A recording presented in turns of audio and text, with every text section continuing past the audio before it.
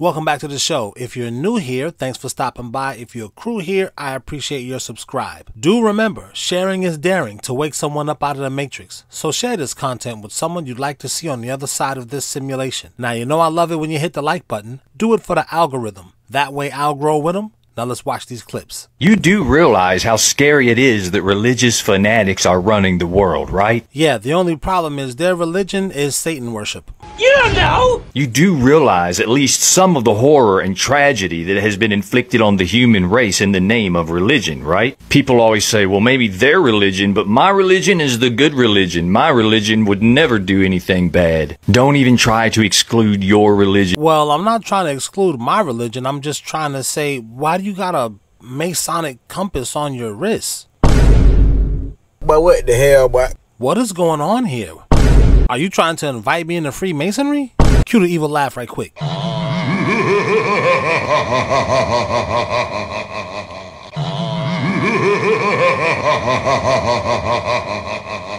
even in ways that people don't realize. I've seen people get depressed because of their religion. People commit suicide because of their religion. Even if your religion isn't bombing people or making people drink poison Kool-Aid, you're still participating in inflicting this silent long death on some of the members that don't show it or talk about it. Is that even a Bible or is that a book of the dead? People silently struggle with not being able to live up to religious standards. This takes a toll on people. Wait, wait, wait. Let's add some creepy talk music and see if our perception of this dude changes. Really affects their immune system and it keeps them down all the time. And on the other side of the world, we're about to have some heifers sacrificed. This religion is going to sacrifice animals. Do you realize how scary it is that these are the people that have sway and influence over this earth? These people base their whole lives on superstition. I don't know. You got the Enron E on the table. Then you got, what is this, a, a, a star on the table. And, um, uh, still creeped out. Maybe even more so now. We're coming in, Dallas had made coming into Look this. at this. Look at this. Oh my gosh. Man, what a night this is. This Luka, is Luka so loves unique. it. Wow. You could shoot that a thousand times. More than a thousand, and that will never happen. Did you see that? That was the Masonic handshake, putting the thumb over the hand like that's not how you shake somebody's hand. That's the specific Masonic handshake to do that like that. More than a thousand. Look at that. Oh my goodness. What kind of night are we having? Rain delay. Oh, I've never seen this before. I have never in my life, in my life, seen that before.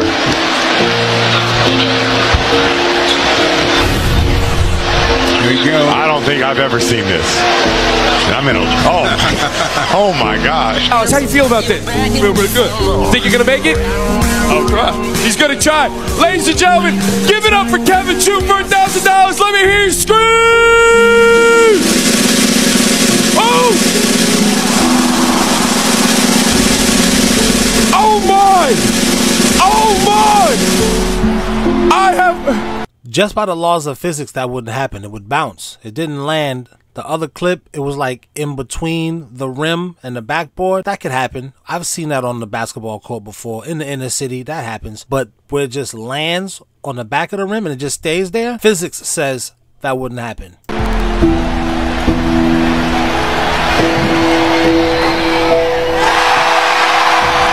If you go and take the Earth's magnetic field map from USGS.gov and then lay it over a map of like a lot of these megalithic structures, all of a sudden you go, oh my God, they're all sitting on top of like high energy magnetic portals, basically. If you look at the Great Pyramid at Giza, where is it located? Directly at the center of landmass on Earth, not the center of the Earth, the center of landmass. There's only one way to get that calculation. You have to have a satellite orbiting in a polar orbit, scanning the planet as it spins on its axis to pick up all the topographical data. And then also the Great Pyramid, the height of it matches the average height of all the peaks on Earth. Listen, the location of the Grand Gallery inside the Great Pyramid, when you look at the, the longitude, It's the same exact digits as the speed of light in meters per second. How in the world did they figure this out? The Great Pyramid is built on pi.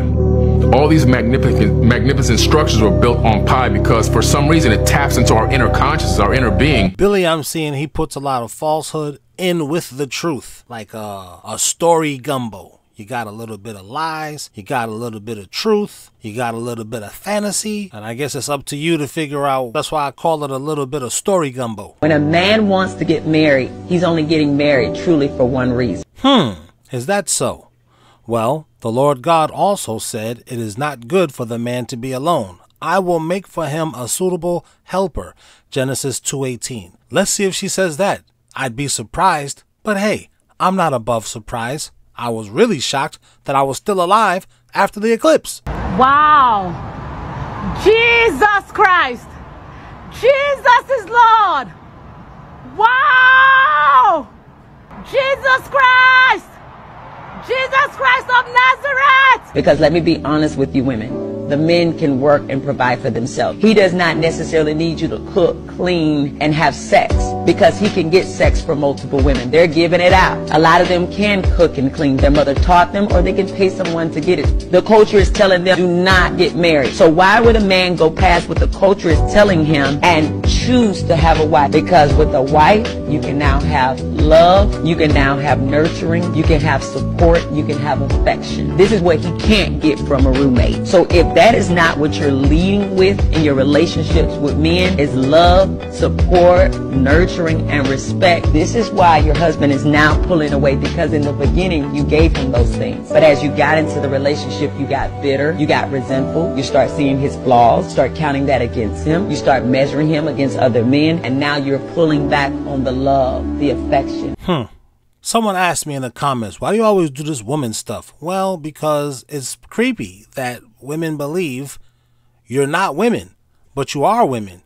But you want what a woman wants, but you deserve what a man just naturally gets. Like men don't get the stuff we get because we programmed it like that. That's the way the Almighty made it. So it just seems pretty creepy. Women have been socially engineered to believe this because you don't just think like that. Now, women are supposed to be treated equally with dignity, respect, all of the stuff that guys get. But it's your husband that protects you. He shields you from this weird stuff. Weird men do. Your, your husband is your built in security guard. Yes, you should be able to just go outside by yourself, women. You should. But there's wackos out here. Every guy is not a wacko, but you don't know which one is or isn't. There's crazy women out here. You should be able to lead with love and just be married, but there's women out here who want to kidnap your.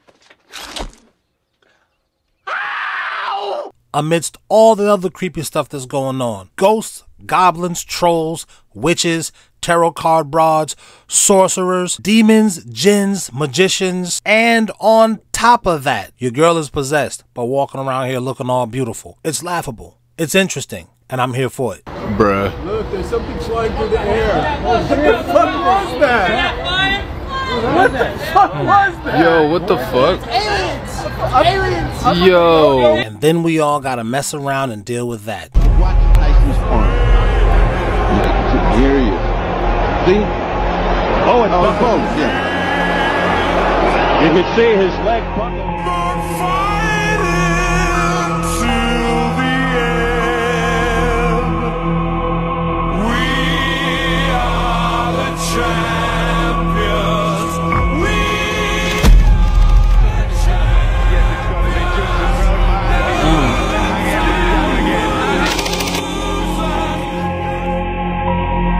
Tyson misses an uppercut, and the opponent makes a motion as if Tyson hits him in the stomach.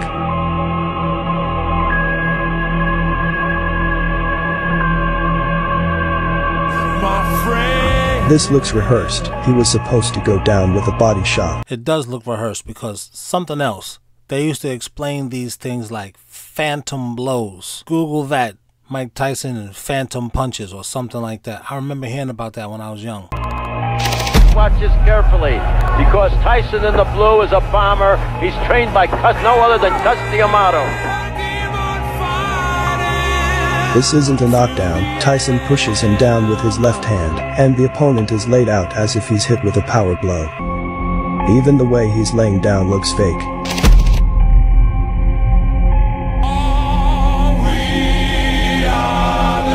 That right there, they'd say he hit him on the top of the head.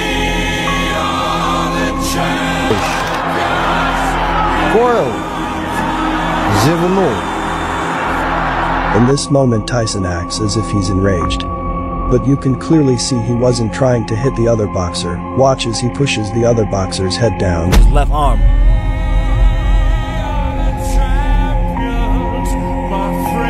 In the same direction Tyson swings, not connecting at all.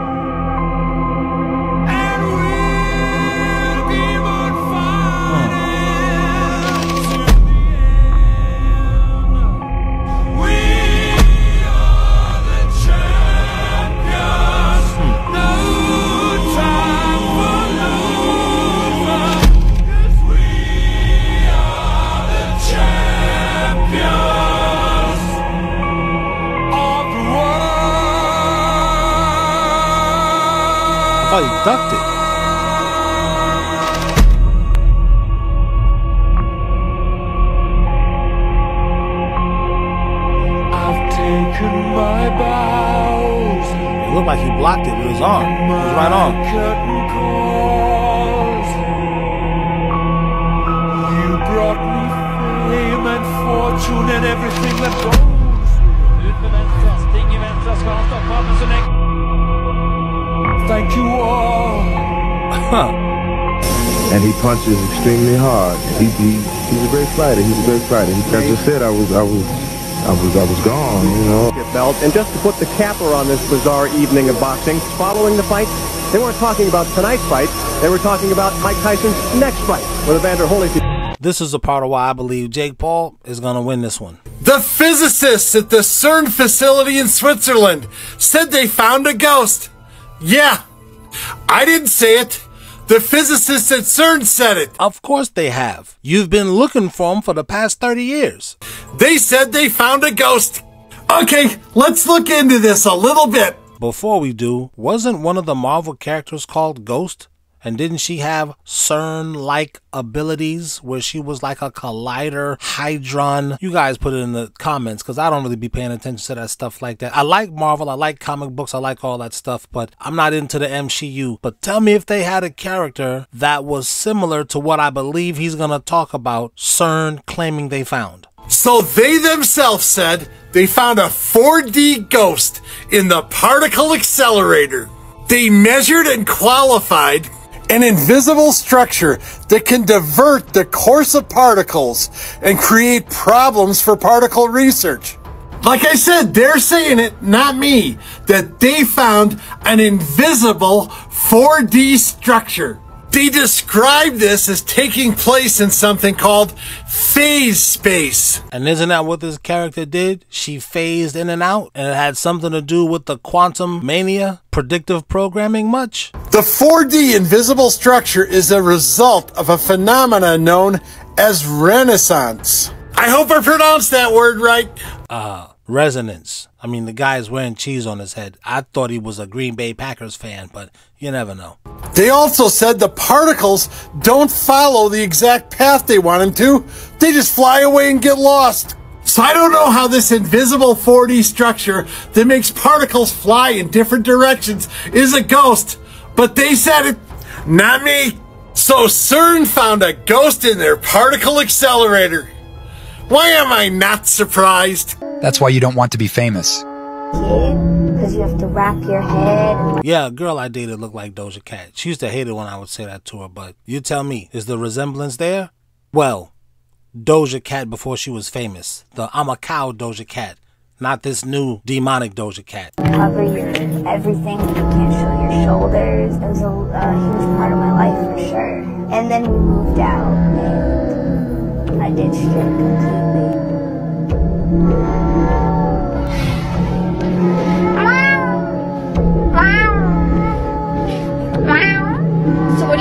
Excited to see in there today?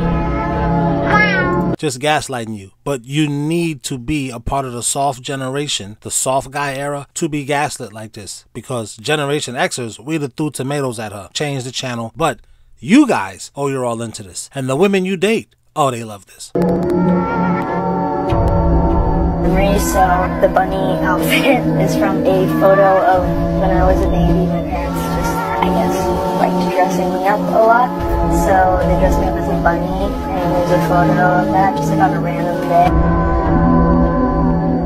Just different themes from childhood. This dude saw my wife here is like, oh, she's a four. I said, oh, only the black men. If she's not putting you on child support, throwing your clothes out on the lawn, stashing you in prison for 20 years, these black men don't want to date her.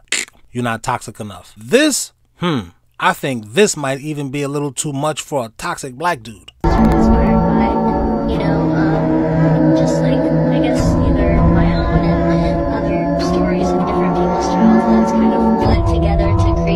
Right, ladies. The men have decided if you can't beat them, join them. So drizzle, drizzle to your sprinkle, sprinkle. Okay? At the end of the day, you told men that they were toxic just for being men. You told men that strength and macho behavior and all the rest of the things that come along with being a man, those things are all bad. Put them away. Okay. They said no problem. They have no problem being in their soft guy era. So I hope you're not concerned about who's going to be taking out the trash because guys have decided you, princess, you get to take out the trash. And while we're talking about royalty, I hope you're not wanting to be a passenger princess because these guys, they want that treatment too. Fair is fair, right? Anything you can do, they can do. All right, well, they've decided to match your sass and now they're embracing it. So I hope that you get everything that you wanted because, ladies, y'all have created some monsters. So buckle up and enjoy the ride. I don't think it's ending anytime soon. Actually, it isn't. How else would this Bible verse come to fruition? What is it, Isaiah something? And on that day, seven women will take a hold of one man and say, What? I'm, I'm I am laughing out of a little bit of smugness. I am. I'm, I'm just saying. So for those of you who clicked off, right? Because some people clicked off when I said this thing about, you know, a girl that I dated, and then you saw the picture of all of us. We're getting closer and closer to this Bible passage coming true. That's the creepy part. Why is anything these people wrote 4,000 years ago true today? Ain't we supposed to be living like the Jetsons, flying cars? Wait a minute. They do have flying cars now. They're called Evil. Oh, oh, you didn't hear about those? Here, let me put you on. It's a flying car. And it's called the Evo. What you'll see is you have a steering wheel. You can both drive and fly this car. If you look closely, the steering wheel will fold and you can switch from drive mode to fly mode we're actually getting flying cars. We wanted this for so long, it's actually happening. Right. So the new electronical vehicles are spelled evil. Hmm. But that's a video for another day. Make sure you sub to the channel so we can do a deep dive on it. Anyway, isn't that just spooky? Doesn't that just trip you out? He was saying there is a fucking island and they take all these rich politicians and, and some celebrities and they bring these kids. And I was like, come on. Convicted Offender Jeffrey Epstein remains behind bars today on the latest child charges lodged against him. So he's also the one who told me about Bohemian Grove. So he went and snuck in to this place where former presidents go. There's Yeah. a photograph of it's Ronald Reagan with Herbert Walker Bush and a couple other people all standing around and they would put on robes and they would worship an owl god and they would burn an effigy. And then no one's denying that it's real. So they're in with these bankers and former presidents and they're dressed like druids. They're all worshiping an owl god.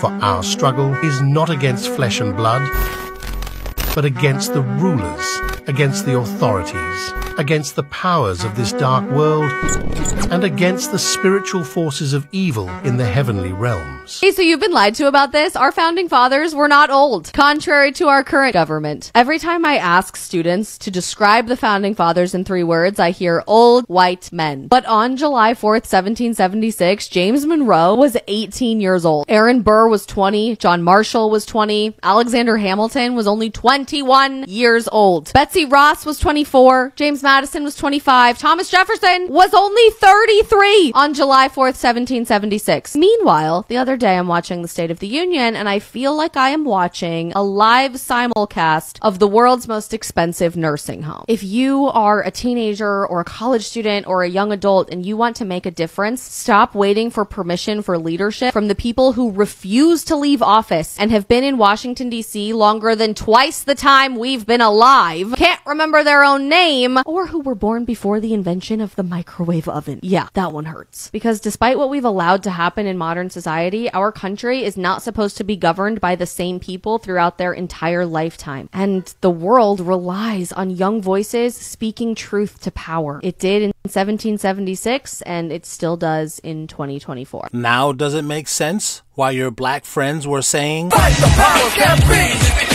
Fight the power!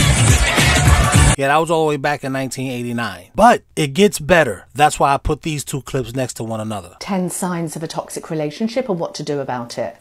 Number one, you feel depleted, disrespected, drained, and hurt most of the time. Number two, your family and your friends don't approve of the relationship or your partner, but you're ignoring them. Number three, your gut instinct flagged in the beginning of the relationship, but you ignored it and dived in. Number four, you've lost yourself, your self esteem, your self confidence. You are not the same person. Number five, you're being triggered a lot. You're constantly in the stress response due to conflict, conflict, conflict. There is no re- resolution either for the conflict. And the conflict is there due to number seven, the mistreatment. There's abuse, maybe lying, cheating, unhealed addictions. And number eight, your health, your finances, your career, it's taking a toll on these areas. Number nine, you're attached to future change. You think there's a future potential that they will change or the relationship will change at some point. And number 10, your needs are not being met, but you're blaming yourself for the toxicity. I've long said I'm in a toxic relationship with my country, but not just me, you too. You might think the relationship is toxic for whatever reason you think it is, but I'm in a toxic relationship with my country, and so are you, my fellow Americans. But what do we do about that? What you can do if you are in a toxic relationship is number one, release the illusional dream that there's a future potential and that there's going to be a white picket fence. Look at the truth, it's a black picket fence, and this is entrapping you and this is hurting you. Release the illusional dream and connect to your gut. Connect to your gut instinct and ask yourself this honest, honest question Where is my relationship going? And allow the answer to come up. What's actually hilarious is the amount of women that are outraged by this soft guy era because basically these men are flipping the roles on them and they realize how ridiculous and unrealistic it sounds when a man says it. By the way, I just want to say to my black people, you voted for Joe Biden and Trans Recognizable Day. You did that. Way to go, Negroes. But then when they say it, it's not ridiculous. Again, fellas, on that day, seven women will take hold of one man. Me, I believe, it's just my own personal belief. They switched up the Bible, mixed the Bible, took stuff out, added stuff in, didn't tell you who wrote certain books to confuse people. Said Jesus said that, then later in the New Testament, no, Jesus didn't say that. I think this whole, well, the Bible is interpretation and my interpretation is better than yours. So you, I think all of that was meant to confuse us. But also, I believe it's my belief that that's the way the Almighty wanted it. Nothing would be happening unless the Almighty gave it permission to happen. Like some women have even gone as far as to call these men gay and act really homophobic towards them for simply asking for what they're asking for. And what I get from it, even if it is a joke, jokes aside, it's about reciprocation and it's showing how many women expect it automatically because their inflated egos are telling them that they deserve it no matter what without any reciprocation. And I don't know about you guys, but any relationship that you're in deserves appreciation, reciprocation, and I think a lot of you guys need to go back to kindergarten where we learn to treat others how you want to be treated. Because if you don't want to be used, then don't use people. If you don't want to be looked at as a paycheck, don't be a gold digger. If you want respect, you have to give respect. If you want someone to be compassionate and considerate, you have to be compassionate and considerate. And yes, this absolutely goes both ways. So the fact that so many women are showing the fact that they'll never reciprocate the same energy, this explains why so many men are out here just match my energy, match my energy and I'll match yours. And the problem is it's not happening. It's the same way that so many women will come online and bash men and talk shit about men and, and talk about their first dates being awful. But the moment that my platform or other women like me call out toxic behaviors, it's a problem. So y'all can talk shit about men and their toxic behaviors, but when women call you out on your own toxic behaviors, it's different. Anyways, drizzle drizzle kings.